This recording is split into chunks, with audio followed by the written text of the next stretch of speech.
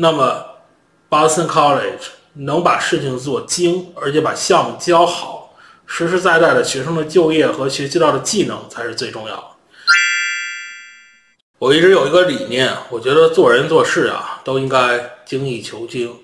我在之前很多期视频里有说了，我说为什么我们老说呢？小日本儿好家伙，说什么人家有什么 craftsmanship，说中文是工匠精神、匠工精神，反正就那意思，就是他们愿意钻磨一件事情。说我说我就不爱听这些话。你看我研究这一个领域，商学院这么小的一个领域，这么深也不算深吧，它这么小的一个领域，留美国留学生才多少啊？那么多留学生呢，能来美国有多少人？在美国还得学商学院、管理学院有多少人？那为什么研究这么小一个领域呢？有些人说，那你挣的太少了，你挣的钱不够，你得吃饭呀，你多挣钱啊。有时候我就在想，我们为什么要多挣钱？人活着一辈子的意义就是挣钱，还是什么？哎，很多人说我傻，其实我也思考了很多很多事情。人生的意义难道只是就为了印出来的几张纸吗？啊，有钱会使你快乐。张老师不算有钱，但是比很多人活的还算是正常小康生活吧。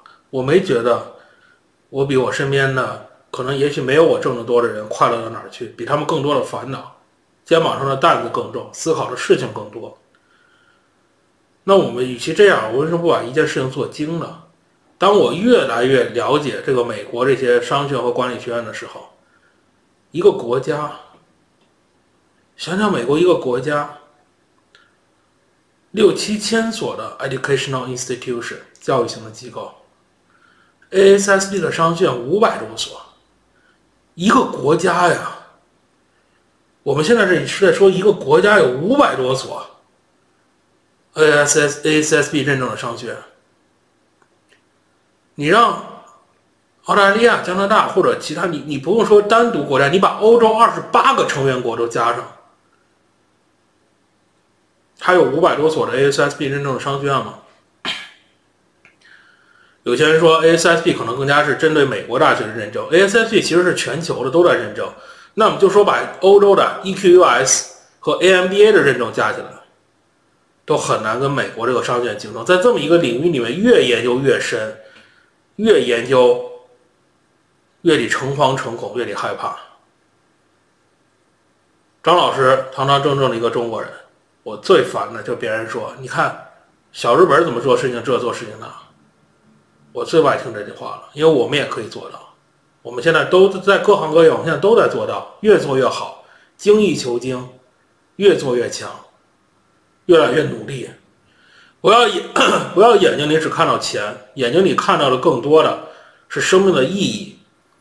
在我研究生毕业的时候，我的导师跟我说：“从这世界上这么好的管理学院毕业，你们要思考一个问题：每一个人，你们要学生活一个 wealthy life，还是一个 rich life？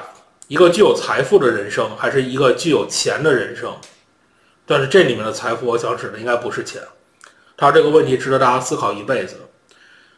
我做人做事喜欢精益求精，我对这些大学，有些 有些特别的大学，我在反复的视频里面就提到了这一点。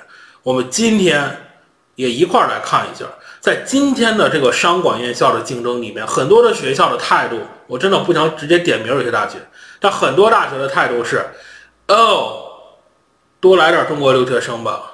哦，我们多收点学生吧。哎呀，差不多就进来吧，反正给我们交学费呢。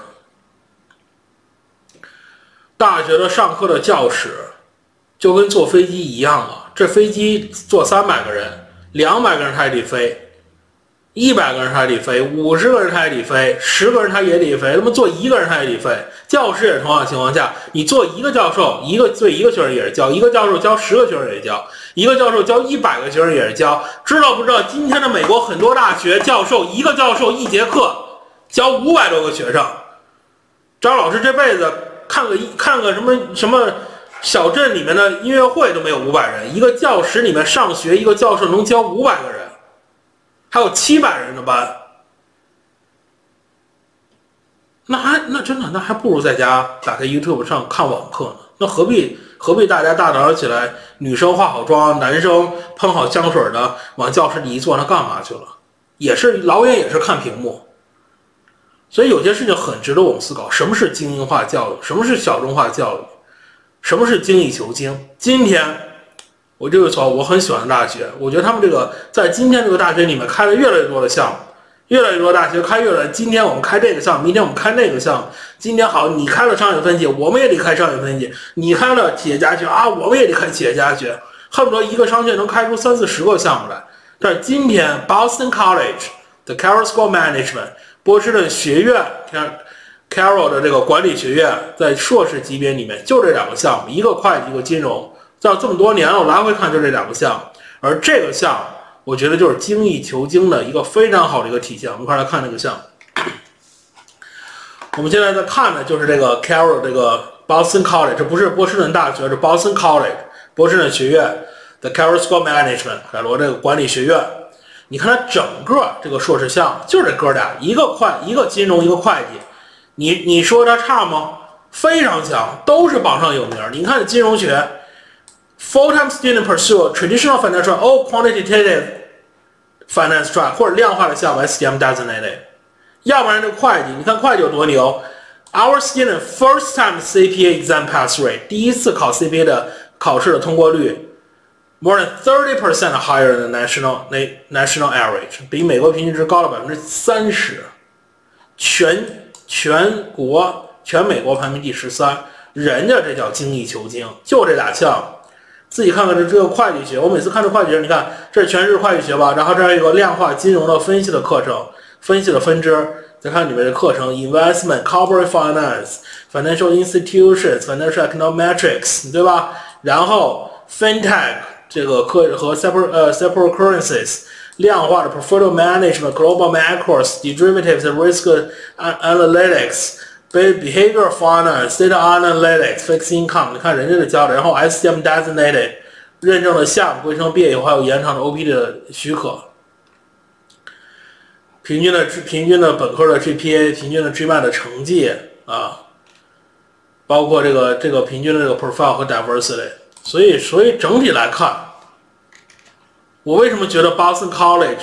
你想办 Boston 这个地方，又是这么多大学，今天这大学那大学，一个小小的 Boston 和 Boston 的泛城市区里面有，有将近快有一百多所、两百所的这种 educational institution 教育型的机构，就教育型的组织。那么 Boston College 能把事情做精，而且把项目教好，实实在在的学生的就业和学习到的技能才是最重要的。我每周五档的免费的资金时间，大家想联系到了，可以给我发邮件，first name 到 last name，还能自导看我们的通过微信联系到 p 三 c h s p 三 c r a t p 三 c 这样一这。以上本期视频，那我们下期再见，拜拜。Millions of Chinese students learn at business schools across the U.S. What does this mean for them?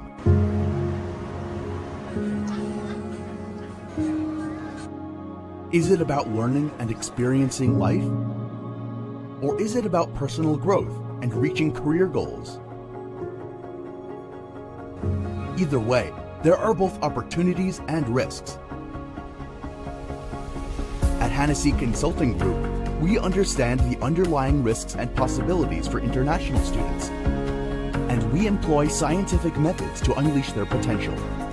We work with students who are confident enough to see challenges as opportunities who spend their time learning how to build their careers for a brighter tomorrow, who share tears and smiles, worries and desires, achievements and prosperities.